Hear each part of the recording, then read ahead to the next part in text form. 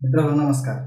आज आपण बेरीज किंवा वजाबाकी सोप्या पद्धतीनं कशी करायची ते पण पाहणार आहोत. मी एक दोन वेळा व्यवहारामध्ये किंवा बाजारात किंवा दुकानामध्ये अशा प्रकारचे बेरजेची उदाहरणं पाहिलेली आहेत. ते मी आपल्यासमोर शेअर करतो. खरं म्हणजे काही भाजीवाले बाजारामध्ये वगैरे असतात परंतु त्यांची हिशोब करण्याची जी पद्धत असते ती खूप फास्ट असते. बऱ्याच वेळा दुकानामध्ये सुद्धा बेरीज करताना दुकानदार काय करतो की एखादी असं असेल उदाहरण की चोवीस रुपये अधिक पंचवीस रुपये किती झाले? तर तो फटकन असं एकोणपन्नास रुपये सांगतो असं.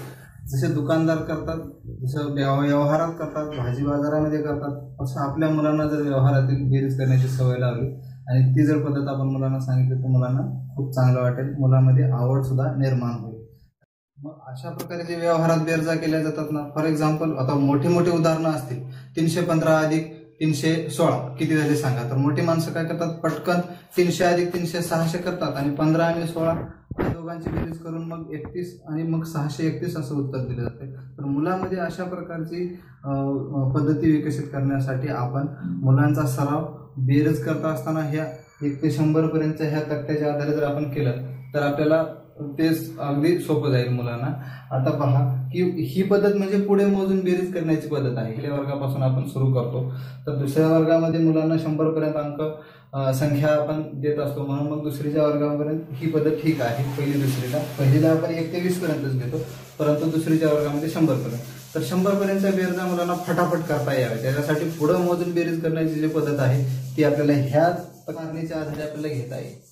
तर वजाबाकी सुद्धा हे ह्या पद्धतीमध्ये करता येते आपल्याला. तर आपण अगोदर बेरीज पाहूया. फॉर एक्झाम्पल आपल्याकडे एक उदाहरण आहे असं की पंधरा अधिक बारा असं आहे. तर हे एक उदाहरण आपल्याला असं सोडवायचं आहे. तर याच्या अगोदर आपण काय करणार की पहिली संख्या कोणती आहे? पंधरा. तर पंधरावर पाहणार इथं. पंधरामध्ये बारा मिळवायचे आहे. तर बारामध्ये म्हणजे बारा म्हणजे किती असतात? दहा आणि दोन असतात. मग पंधराच्या पुढे दहा मोजल्याच्या नंतर किती झाले? पंचवीस झाले. आणि पंचवीसच्या पुढे मला किती मोजायचे आहेत दोन. म्हणजे पंचवीस सव्वीस सत्तावीस.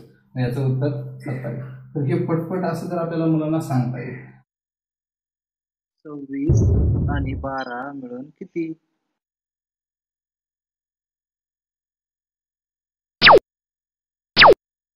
सव्वीस आणि दहा छत्तीस आणि दोन अडतीस. सव्वीस आणि बारा मिळून अडतीस होतात. अशाच प्रकारे जर उदाहरण दुसरं असेल अजून की त्रेचाळीस अधिक चोवीस असं असेल. तर त्रेचाळीस अधिक चोवीस ही बेरीज करायची असेल तर पहिली संख्या कोणती आहे? त्रेचाळीस. मी त्रेचाळीसकडे जाणार आहे तर. त्रेचाळीसमध्ये किती मिळवायचे आहेत? चोवीस. म्हणजे वीस आणि चार मिळवायचे आहेत.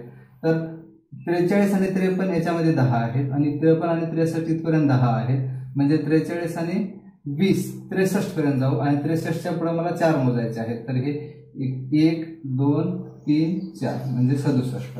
माझं उत्तर काय असणार आहे? सदुसष्ट. त्रेचाळीसमध्ये चोवीस मिळाल्यावर किती झाले सदुसष्ट.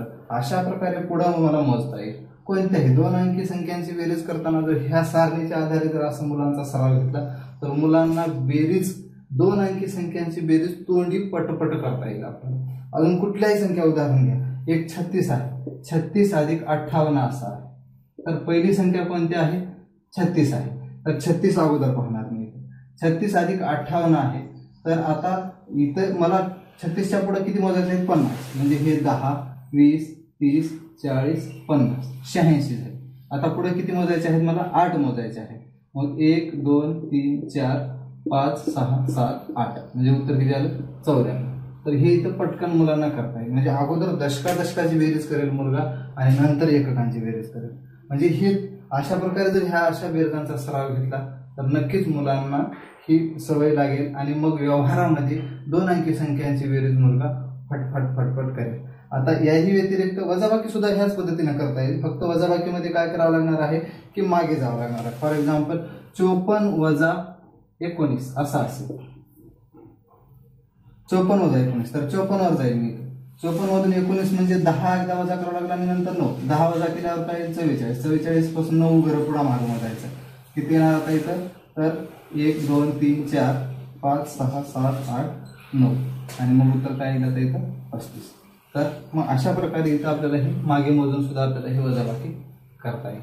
तर वजाबाकी किंवा बेरीज करायचं असेल तर अगोदर ह्या तक्ते ह्या सारणीच्या आधाराने जर असं जर आपण सराव केला तर मुलं नक्कीच शिकतील बेरीज.